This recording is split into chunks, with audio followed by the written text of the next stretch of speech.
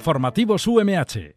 ¿Qué tal? Les saludamos un día más desde los estudios de Azabares. Durante los próximos 10 minutos repasaremos las noticias más destacadas perdón, de la Universidad Miguel Hernández. Pero antes de comenzar, como siempre, les envío el saludo de todo el personal del servicio de comunicación que hace posible este programa, y muy especialmente al de quien les habla, Claudia Cozar. Hoy es martes 6 de julio de 2021 y cuando pasan unos segundos de la una de la tarde, desplegamos el relato informativo. Arrancamos. La UMH recibe al estudiantado que se presenta a la convocatoria extraordinaria de las pruebas de acceso a la universidad, las PAU. Dayanara Coronado amplía la noticia. La Universidad Miguel Hernández acoge estos días la convocatoria extraordinaria de las pruebas de acceso a la universidad. En este sentido, el director del área de las pruebas de acceso a la UMH, Javier Gómez, ha detallado el número de alumnos que se presentan y su perfil. Tenemos un total de 581 matriculados en la Universidad Miguel Hernández. Unos son los alumnos que les quedó alguna asignatura en la convocatoria ordinaria en su centro de procedencia de secundaria y que han aprobado en la, convocatoria extraordinaria. Y también tenemos un grupo de alumnos que, habiendo aprobado la, la prueba de acceso a la universidad en convocatorias anteriores, se presentan para subir nota en alguna de las asignaturas. Que siempre en asignaturas de la fase voluntaria que puede ponderar para el acceso a la universidad en años venideros. El plazo de preinscripción en las universidades finaliza el próximo viernes 9 de julio, por lo que los estudiantes deberán hacer este proceso antes de conocer sus notas.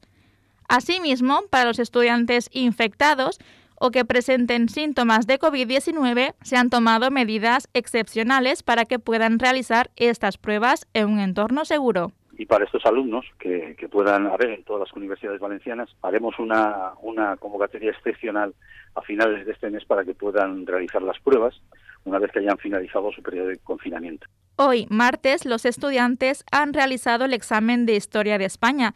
Hemos querido saber de primera mano qué piensan los futuros universitarios, si van a lograr una plaza para estudiar en la universidad o mejor aún, si van a poder lograr entrar en la carrera de sus sueños. Escuchamos al estudiante del Colegio San José Artesanos Salesianos de Elche, Daniel Sánchez Aragonés, que nos habla de cuáles son sus expectativas al acabar las PAU.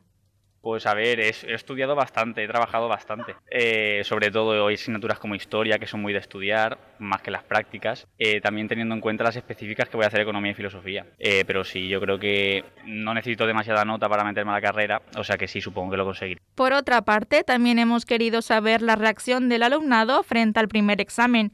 Escuchamos a la estudiante del Instituto Sixto Marco de Elche, Laura García, que hace un pequeño balance de la primera prueba. El examen yo pensaba que iba a ser más difícil, yo he cogido el siglo XX, las preguntas han sido dos y son las dos sobre el franquismo, o sea que bastante fácil. Parece ser que Laura García no es la única con esa opinión, ya que por lo general son varios los alumnos que han salido del examen bastante contentos y satisfechos. Escuchamos al alumno del también Instituto Sixto Marco de Elche, Carlos González Fernández. Me esperaba el examen que podría ser pues o fácil o difícil, no sé. Me lo esperaba, me lo esperaba más difícil, ha sido fácil, pero tampoco ha salido de 10, tampoco. Este solo ha sido el primer día de las pruebas de acceso a la universidad. Por tanto, ya falta poco para ese último empujón. Desde Radio UMH os deseamos a todos y todas mucha suerte en los exámenes. La UMH celebra la graduación de la decimotercera promoción del grado en periodismo. Dayanara Coronado, adelante.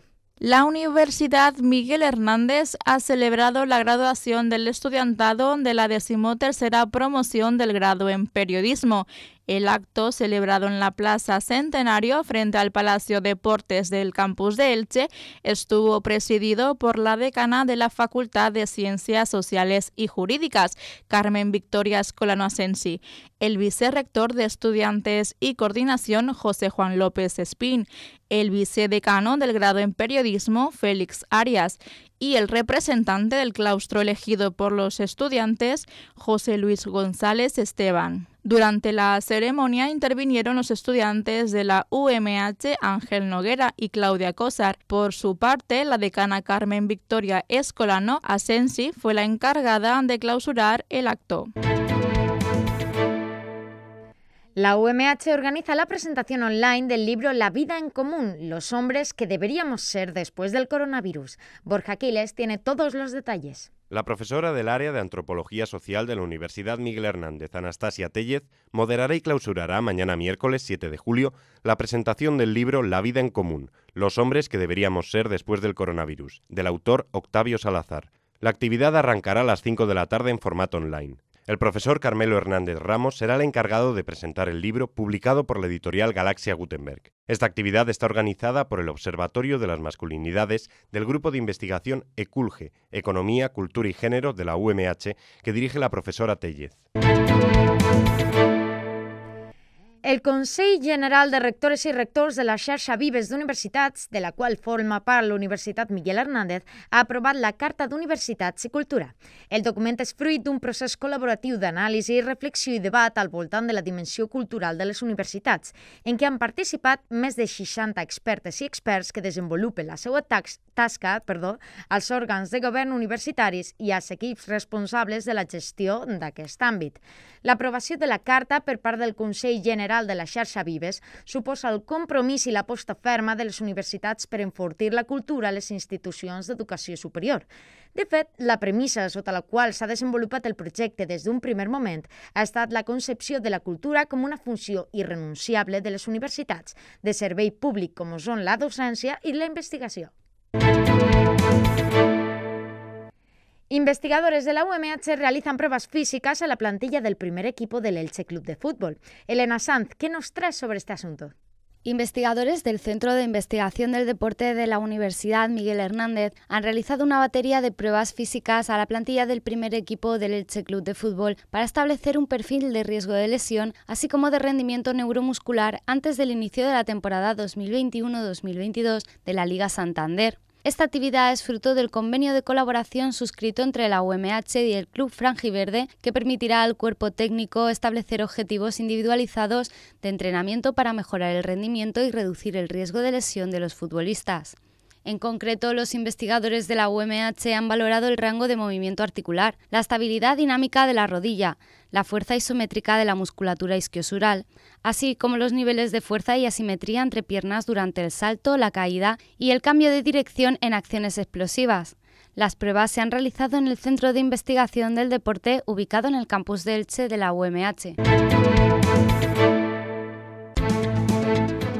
Nosotros nos despedimos ya, pero la actualidad de la Universidad Miguel Hernández sigue en las redes sociales. Mañana les traeremos nuevos asuntos, como siempre, a la una de la tarde en nuestros diales y a través de la radio online. Disfruten de la tarde. Saludos y salud.